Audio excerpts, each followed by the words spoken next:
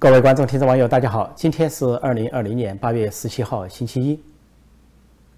白俄罗斯民众继续大规模的抗议，抗议当局选举舞弊、选举不公，而且要求擅自宣布当选连任的卢卡申科辞职下台。卢卡申科已经当了二十六年的总统，现在他又宣布通过选举舞弊，宣布他再次连任该国总统。如果他再连任四年，就相当于三十年执政。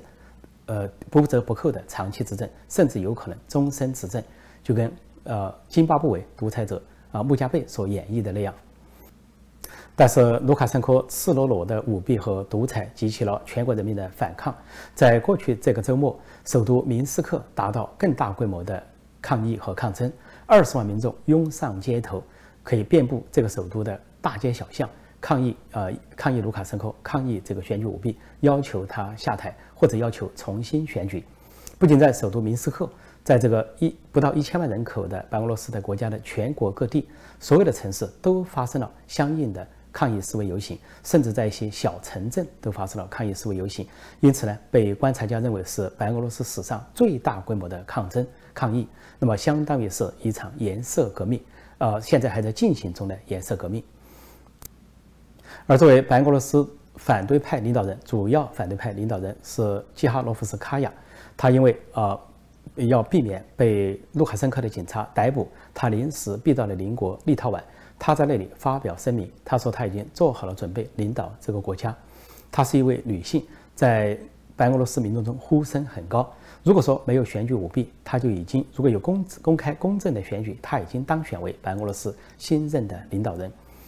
而卢卡申科方面。他自己呢，聚集了五千人，在这个总统府外的广场上举行集会，表示支持他。然后他在这个集会上声嘶力竭的啊谴责民众和反对派，然后就跟所有的独裁者一样，他把原因归结为两个，在他这边，他归结为他捍卫国家的独立，捍卫国家利益，所谓啊民族，而把反对派和人民的诉求说成是外国势力的干预，邻国的干预。他暗示波兰、捷克或者是北约，他甚至谎称。说北约在西部增加了兵力，似乎要入侵白俄罗斯，但是北约否定了这个说法。另外，他跟这个其他独裁者一样，呃呃，他的官方媒体都谎夸夸大数字。他聚集了五千人在广场上支持他，但是官方媒体却报道说是七万人。即便他宣称的七万人，跟呃抗议的二十万人也可以说是少数对多数。但是在中共的媒体上，却完全不提抗议的人数。引用却引用卢卡申科和这个白俄罗斯官方的数据报道，叫单方面的报道说，在明斯克啊，白俄罗斯民众大规模的集会支持政府，这就是中共的标题。而在这个标题下提到这个民众的抗议示威，说成是较大规模的抗议，说成是部分民众如何如何，这就是中共显示呢。习近平、中共和中国的宣传机构继续力挺卢卡申科，因为习近平是抢先、抢第一个给卢卡申科发了贺电，甚至抢在了俄罗斯总统普京之前。那么，所以习近平和中共摆出一副要力撑卢卡申科撑到底的架势。卢卡申科做出这个动作，那么在国内外激起了复杂的形势，民众继续抗议。在最初，警察暴力镇压导致了两人死亡、多人受伤，将近七千人被捕。现在，白俄罗斯的警察采取了克制的态度，而且显示出他们是否支持卢卡申科也出现了犹豫，说警察镇压不太卖力了。连内务部长也出来向民众道歉了，甚至官方电视台、官方媒体的调子也发生了变化，不顾卢卡申科的禁令，开始正面的报道，有一些正面报道对民众的游行示威机会结社，说整个官方内部看上去出现了分化，但是卢卡申科仍然强势。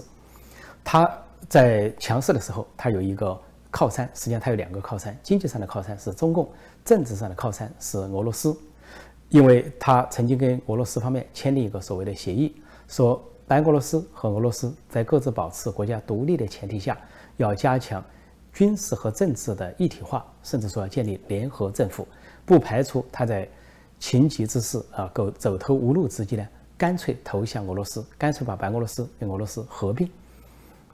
而他口口声声说外部势力，但真正的外部势力就是俄罗斯。现在俄罗斯做出了非常狂妄的表态，普京表态说随时愿意派军队去支持这个卢卡申科。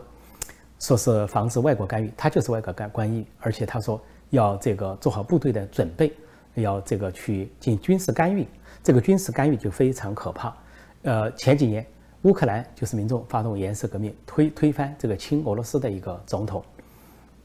但是俄罗斯就出兵，出兵呢先是抢占了一个叫克里米亚的一个岛，这个岛呃俄罗斯号称在历史上就属于它，本来两国就有争议。而且不仅如此，他还在乌克兰东部啊制造军事冲突，有当地啊有俄罗斯啊族裔的人跟乌克兰的啊政府军发生冲突，至今还没有平息。也就是说，乌克兰人民当时获得了通过颜色革命获得了真正的民主和自由，但是却受到邻国这个流氓恶霸俄罗斯的干预，而俄罗斯趁机就瓜分了乌克兰一片领土，至今不予归还。这也是俄罗斯跟欧洲产生原产生矛盾的主要原因。那么这次俄罗斯和普京似乎又虎视眈眈，觊觎白俄罗斯，似乎要故技重施啊，旧戏重演，似乎要对白俄罗斯有所企图，出兵有所企图。这个出兵也想起了在东欧在历史上悲惨的年代，那就是前苏联时期。前苏联时期，呃，东欧有八国也是被苏联强行的啊，在二战后侵占之后扶持建立共产主义政权，但是先后发生，他们要求民主化。要求呃这个人权，要求脱离这个一党专制的这个革命，比如说一九五六年发生了匈牙利革命，当时的民众起来啊游行示威集会，要求啊实现匈牙利的民主，而当时匈牙利的领导人啊也呼应民众的要求，顺应民众的要求，在匈牙利进行改革，但是却被苏联出动军队坦克血腥镇压，当时被镇压之后叫匈牙利革命。后来，在一九六八年，又在捷克、捷克斯洛伐克发生了民众要求自由化、要求民主化，而当时的捷克领导人也呼吁民众的诉求，希望在捷克做一场和平的改革，实现民主化。但是，苏联还有所谓的华约出出兵二十万，出动坦克五千辆，血腥镇压了在捷克斯洛伐克酝酿的民主化运动，那叫布拉格之春。一九六八年，这两件事情。是历史的重大阴影笼罩在这些东欧国家的头上。那么，尽管苏联解体了，原来的十五个加盟共和国也都各自获得了他们早先的独立，但是呢，现在俄罗斯的阴影仍然存在。说俄罗斯干预了乌克兰，也干预了格鲁吉亚，切割了呃瓜分了乌克兰，也瓜分了呃格鲁吉亚的部分。那么现在呢，俄罗斯试图要对白俄罗斯进行某种肢解、瓜分，甚至兼并，这跟俄罗斯民众的诉求完全相反。所以，呃，白俄罗斯跟乌克兰、跟格鲁吉亚、格鲁吉亚一样，因为有这么一个恶霸的流氓的邻居，使他们的民族总是笼罩着悲剧的阴影。国家不仅波兰、啊立陶宛这些邻国对白俄罗斯的选举舞弊予以谴责和批评，现在欧盟、北约、法国、德国都相继发声谴责卢卡申科。一方面，啊，对他的选举表示质疑，也是要求重新选举。另外呢，认为卢卡申科已经丧失民心，应该下台。再一个认为呢，就是卢卡申科用警察残暴镇压人民的方式，欧盟不能接受。说欧盟发表了声明，声援是支持白俄罗斯人民的啊抗争。另外，德国总呃法国总统马克龙和德国的外长也都相继发表声音，支持白俄罗斯的人民。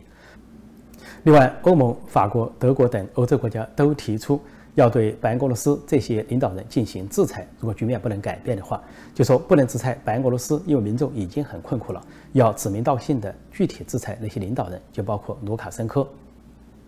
啊，另外北约也发表了相应的说法，那么说密切注视事态的发展，而且北约和欧盟都警告俄罗斯不要对白俄罗斯进行军事干预。普京和俄罗斯试图对白俄罗斯进行军事干预，以及欧盟和北约坚决反对他这么做，那么就可能出现非常复杂而危险的局面。那么说的轻一点，就是，呃，俄罗斯再次得手，像他在格鲁吉亚和乌克兰那样得手一样。啊，当当地的人民获得民主自由的时候，俄罗斯却去侵略这些国家，鲸吞这些国家的领土，对这些国家主权、安全构成真正的威胁和侵害。但是另一方面，说的重一点、重一点的话，那么。如果说北约也出手的话，那么这个时候北约有可能跟俄罗斯发生战争。如果这个局面出现，我想最高兴的就是中共盘踞北京的这个最大的独裁政权，因为他巴不得这个北约跟俄罗斯干起来，自己就火中取栗，然后再次赢得所谓战略发展机遇，就跟当年的二零零一年九幺幺恐怖攻击之后，呃，中共就马上向美国表态，似乎啊跟美国也加加入了美国广泛的反恐联盟，然后让美国集中火力进行阿富汗战争、伊拉克战争，而中共就宣称赢得了十年宝贵的机遇，在亚太地区疯狂发展、疯狂崛起。然后，美国在消耗了大量的国力之后，中共宣称自己崛起，然后可以跟美国并驾齐驱，甚至可以抵消美国在亚太地区的影响力和领导力。在这种情况下，国际社会怎样为白俄罗斯的和平进程努力？我想，最好的做法是欧盟、北约跟俄罗斯举行会谈，劝阻俄罗斯不要出兵，不要面临出兵的后果，然后商讨出一个方案，比如说让卢卡申科。呃，和平的下台，然后流亡到俄罗斯，然后这个在卢卡申科离开之后，白俄罗斯重新举行选举，或者重新进行计票，让让符合民心民意、众望所归的反对派领导人季哈洛夫斯卡娅来领导这个国家，既跟欧洲各国和平相处，也跟俄罗斯和平相处、友好相处，在这样的情况下，保障白俄罗斯作为一个独立国家，它的主权和领土完整。也保障白白俄罗斯的民主化进程和平的展开并向前推进。在美国，继美国政府对中国的字节跳动、海外版抖音公司，还有中国的微信公司采取禁令和警告之后，现在目标又指向了阿里巴巴公司，这个中共中国最大的电商，说现在世界上仅次于亚马逊。那么指控他，主要是因为阿里巴巴在美国上市，跟其他中国公司一样，上市都可能受到审查审计，极可能其中存在财务造假或者是有所隐瞒等种种不法行为。那么早先有瑞幸咖啡，呃，中国的瑞幸咖啡号称要跟美国的星巴克相比，但是被美国的监管部门调查，它存在啊业绩造假、谎报，构成欺诈行为，因此呢。不仅受到重罚，而且在今年六月份退出了美国的华尔街市场。在之后前些天，是美国对中国的娱乐巨头叫做爱奇艺展开调查。爱奇艺相当于要充当美国的什么 Netflix，然后它这个股票大跌，而且百度的股票也大跌，因为百度呢持有这个爱奇艺百分之六十九的股份。说爱奇艺受到调查，也是因为揭发出它有造假、虚夸。它的业务被夸大了百分之六十啊左右，也就是说，它的这个去年的产值，所谓的财务业绩啊，被夸大，呃，三十亿到八十亿美元之多。如果这个属实的话，那么爱奇艺这个娱乐集团中国公司也会像瑞幸咖啡一样被赶出美国的华尔街市场。其实，美国政府早先就发出通令，要求这些中国公司接受监管，接受美国的呃这个制度，因为在早些年，在奥巴马当总统的时候，这些中国公司进入美国，奥巴马政府呢并不严格，没有呃对他们提出严格的要遵循美国方面的这些监管，因为中国这些公司都股权不明，股权结构还有股东性质都非常复杂，他们表面上是民营企业、民间企业，实际上都不是。比如说阿里巴巴这个公司，它。里边有几代的政治局常委、政治局委员家属子女在那里持有股份或者投资，这是一个公开的秘密。另外呢，作为阿里巴巴的创始人马云，去年就被中共逼退。一个政府可以可以逼退一个民营企业的领导人，让他不再当董事会主席，这本身就是政府干预，证明阿里巴巴不完全是这个所谓民营企业这么一个特征。而这个马云早先在川普刚上任的时候。呃，想许诺给美国创造一百一百万的工作机会，还受到川普的接见，但是后来由于中美关系，他就宣称他不能履行他的承诺了，也说明他背后受中中共当局，啊，中国政府的操纵，完全是一个傀儡。而马云呢，尽管对当局不满，尤其当局把他逼退，但是他本身呢，也承认自己是个党员，也有党员的话就有党组织，也就有所谓党领导一切。说在中国没有什么真正的民营企业，都是党有企业、党管企业，所以美国对这些企业的驱赶都是应该的，不仅仅是啊这个抖音、微信啊这些要被禁止、被禁用，而且呢更多的企业都应该被驱离。如果按照美国财政部所发布的这个公布，如果这些中国在美国上市的公司不能够完成啊这些有关的报表，或者说出现问题的话，都都应该受到罚款，甚至撤离美国的华尔街市场。中国这些公司或者中共在背后这些公司来，本身就是到美国来圈钱，把美国纳税人的血汗钱，甚至美国联邦政府雇员的血汗钱圈走，然后回头去为中共的统治服务，而中国人民本身并没有得到好处。所以，从华尔街、从美国股市赶走啊中国企业，也就是中共企业，应该说是顺理成章、合情合理。即便出于对等和公平的原则，美国都应该赶走中国的企业，因为美国的企业到中国去，并不能啊享受跟中国企业一样一样的所谓上市条件，而且我们也没有听到什么美国公司在中国去上市，比如说所谓 A 股或者是 B 股。另外呢，呃，美国的企业不仅不能去上市，或者是到中国去圈钱，更重要的是，美国公司甚至不能进入中国市场。比如说，美国的这些互联网巨头、这些社交媒体，像脸书、推特、啊油管、呃谷歌等等，在中国都受阻，以中共那种啊意识形态来破坏市场经济、破坏国际经济、破坏世界规、世界贸易组织的规则。所以在这个时候，中共没有什么可抱怨的，这只不过是对中共做法的一个 回报。有中共，他在收获他自己造孽造恶所来的这个后果。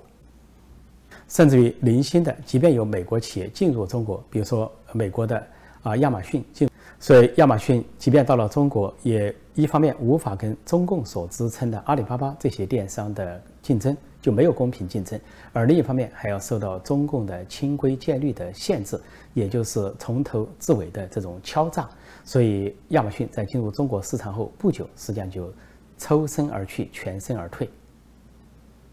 相当于被中共或者被中共的制度所逼退。既然美国企企业都无法顺利的进入中国市场，那么为什么呃中共的这些企业就可以进入美国市场，甚至到美国的华尔街圈钱？这显然是长期存在的不公平、不对等的现象。现在要恢复公平和对等，就应该把这些中国公司、中共企业全数赶走。让他们回到中国，回到党妈妈的怀抱，搞所谓内循环，或者是闭关锁国。而就在今天八月十七号，美国商务部还出台了对中共华为公司新的制裁和限制措施，啊，不仅是对过去的华为啊这个。母公司和它相关在美国的子公司做出了这些限制，现在又宣布对华为在全球分布的三十八家关联的公司进行相关的限制和制裁，不准他们通过直接或间接的渠道取得美国的产品和技术，尤其美国的芯片。那么这些华为公司相关联的公司分布在全世界各地，说至少二十一个国家，包括有的分布在中国，有的分布在法国，有的在啊巴西，有的在智利等等。也就是说。华为公司只要在世界各地有它的分公司，它都不能通过啊美国，更不能通过第三方，也不能通过第三方获得美国的芯片技术或者软件技术。反过来说，如果有第三方，有其他国家因为得到了美国的芯片啊相关的产品或者技术，如果转给华为、卖给华为的话，这些公司本身要面临美国的制裁，也就是说，不能跟美国做生意，也不能得到美国的产品和技术。也就世界各国没有哪个国家想冒这样的风险，失去美国的技术市场和美国的大市场。这就对，呃，美国的这个补充的这个措施，就给中共这个华为公司构成了汪洋大海式的包围。美国发出的信号非常明确，那就是华为公司作为中共最大的间谍、监听啊、危害安全的公司啊，不仅呢在中国是犯下累累的人权血债，像在新疆啊监控和迫害维吾尔人，而且呢是在世界各地危害世界各国的安全，危害人类的和平。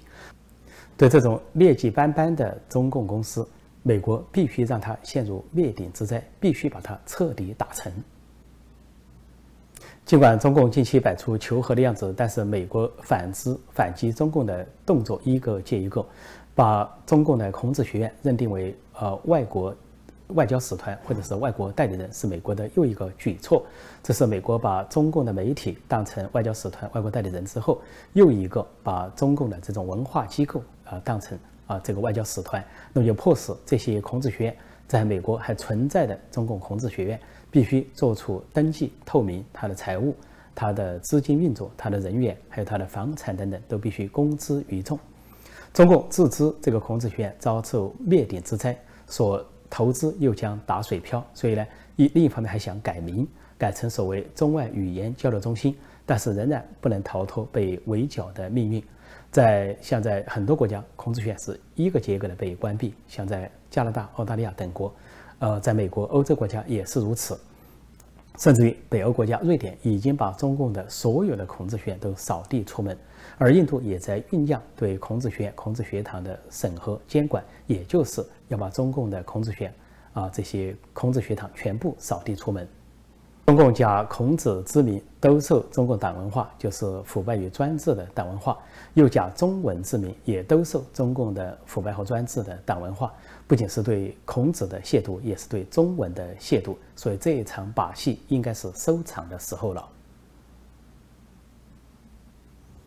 在国际围堵下，中共方面的噩梦是一个接一个。最近两天。以色列有宣布把中共的华为五 G 完全排除在国门之外。那么，中共试图呢，通过以色列一方面向以色列购买军火，啊，是试图从美国那里得不到，从以色列里能够专控制得到美国式的军火；另一方面，还试图在以色列大举投资，特别是华为五 G 来控制这个中东国家，而美国的坚强的盟友。那么，以色列现在做出这个宣布，对中国来说是当头一棒。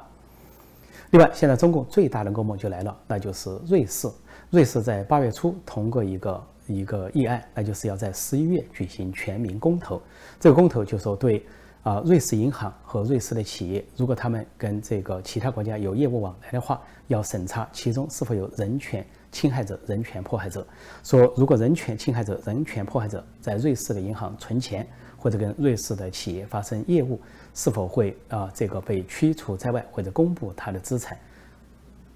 瑞士是一个长期的中立国家，即便是在呃二战时期都是中立国家。呃，那么在瑞士的银行是具有世界性的，不仅是这些遵纪守法的民主国家啊的人可以到那里存款，企业或者个人，连那些独裁者啊为非作歹的独裁者、专制国家、共产主义国家那些领导人也都纷纷到瑞士去存款。把瑞士当成他们啊，这个藏匿财富的天堂，也当成是逃税的天堂。因此，瑞士呢，素来就有这个名声。包括历代的独裁者，包括以前像利比亚的卡扎菲，还有伊拉克的萨达姆，后来都被爆出在瑞士有巨额的存款。那么，中国方面呢，是在十多年前有危机解密啊，那个事件闹得沸沸扬扬的时候，危机解密就公公布出。中共方面在瑞士银行的存款高达五千亿美元以上，而其中包括大部分的政治局常委、政治局委员、中央委员和省部级以上的领导人，甚至包括中国外交系统的那些官员，甚至包括中联办、港澳办这些官员。当时让人们觉得奇怪，说中共党和国家领导人啊，这个巨额财富都知道，但是为什么外交系统、港澳系统这些官员也有大量的财富？说让人疑窦。那么那个时候爆出有五千亿美元的存款，而中共是急忙对这些消息进行屏蔽。那么这回瑞士将要发生的这个公投，十一月举行的公投是史无前例的。那么主要针对的对象就是中共，因为就在六月份，相关瑞士朝野就在讨论，如果中共在香港镇压民众，通过港版国安法，瑞士应该怎么做？而瑞士的外长当时就对中共的倒行逆施提出了尖锐的批评，说瑞士必须做出强有力的反制，如果中共在香港砸烂一国两制的话，那么中共结果是，啊一不做二不休啊，恶向胆边生，坏事做到底。最后果然在香港通过了港版国安法，砸烂一国两制，砸烂香港。在这个时候，说在八月初，那么瑞士就开始了这样的风潮，必须对中共有所还击。那么其中重大的话题就是在瑞士银行这些中共官员的存款，那么就引起了瑞士民众的热烈讨论。因此，在八月份。根据民众的意见，那么政府和相关部门就形成了一个决议，要在十一月举行全民公投，就让全体瑞士人公投来决定，将来的瑞士银行、瑞士的企业将怎样对待那些严重侵犯人权的国家和个人，是否为他们存款，是否公布他们的财产，甚至是否冻结他们的财产，这些都在议事日程之中。也就是说，如果十一月瑞士举行的全民公投通过，相关的法案的话，那么中共各级官员在瑞士银行的存款，啊，第一，有可能被公示、被公开；第二，有可能要求他们撤离。那么中共有可能当然也可能偷偷的转移。再一个，如果说做出制裁，甚至于对中共啊所制造、隐瞒、传播的大瘟疫要求追债索赔的话，那么瑞士和其他国家联合也有可能把中共在瑞士天文数字般的存款啊支留下来，作为一种赔偿对各国损失的赔偿。瑞士这个史无前例的举动，对中共来说无异于一个核弹，对他们的财产、他们的既得利益、他们转移到海外的巨额偿付，可以说是一次重大的核打击、核爆炸。所以我就说过，香港极可能是习近平的滑铁卢，极可能是习近平政治生命的终结站。因为如果在其他方向上，西方国家还没有完全联合起来，比如说新疆集中营，或者是美中贸易战，或者是大瘟疫啊，或者是其他方面的一些冲突，西方国家还有不同的温差态度上。但是在香港问题上，美国、欧洲所有的西方国家、民主国家都找到了他们最大的共识、最大的共同点。当呃中共习近平砸烂香港、砸烂一国两制、背弃中英联合声明，就是背弃国际社会、背弃各国。因为中英联合声明是在联合国注册的条约，那么各国都有权进行监督。但是中共习近平居然说砸就砸了，习近平的横蛮、粗鄙和愚蠢由此可见。在香港问题上砸烂一切，就连瑞士这样的中立国家都被激怒而站立起来，对中共说不。而瑞士即将在十一月举行的这场史无前例的全民公投，就是冲着中共而来，就是冲着习近平而来。最后讲一个小故事：中共总书记习近平主持政治局会议，研讨国内外局势。他说：“美国现在要跟我们脱钩，我们准备再次闭关锁国。”王沪宁听说，等一下，不能叫闭关锁国。习近平说：“那叫什么？”王沪宁说：“我想一下。”他琢磨一阵，然后说：“不能叫闭关锁国，我们应该叫内循环。”习近平说：“好，就按你说的内循环。”习近平继续讲：“搞内循环就相当于我们回到毛泽东时代。”王沪宁说：“等一下，不要叫回到。”习近平说：“那该怎么讲？”王沪宁说：“我想一下。”他琢磨一阵，然后说。应该叫回到，应该叫改革，叫变革，而且叫重大改革、重大变革。习近平说：“好，就按你说的办。”过了一阵，习近平又讲到说：“我们在销毁了证据和病例之后，允许世界卫生组织派专家进来，但是按照我们的要求进行病毒来源调查。”王沪宁说：“等一下，不能叫病毒来源调查。”习近平说：“大概怎么说？”王沪宁说：“我想一下。”他琢磨一阵说：“应该叫新冠溯源合作。”习近平说：“王沪宁同志，这我就听不懂了。什么叫溯源啊？”王沪宁说：“溯源就是追溯来源的意思。”习近平一听大惊：“什么追溯？还要追溯我？”王沪宁说：“哎，不是那个溯，这个追溯啊是三点水那个溯，不是言字旁那个溯。”习近平说：“不管你三点水还是言字旁，我听着就不对劲儿。你说全名叫什么来着？”王沪宁说：“新冠溯源合作。”习近平说什么？新冠溯源合作？我当了八年总书记，还没有定接班人，还算新冠吧？按你的意思，要追溯还要合作我这个新冠，这不冲着我来的吗？王沪宁，你好大的胆子！王沪宁叹一口气说：“哎，习总书记，你怎么听不明白啊？”习近平火了，说：“王沪宁，是我不明白，还是你不明白？你这是不知敬畏，妄议中央！你好大的胆子！”王沪宁还没来得及申辩，只听习近平大喝一声：“来人啊，把王委员带去秦城！”王沪宁大喊冤枉，但是已经被人拖着走，两条腿拖在地上，只剩了一只鞋子在会场。好，今天我就暂时讲到这里，谢谢大家收看收听，再见。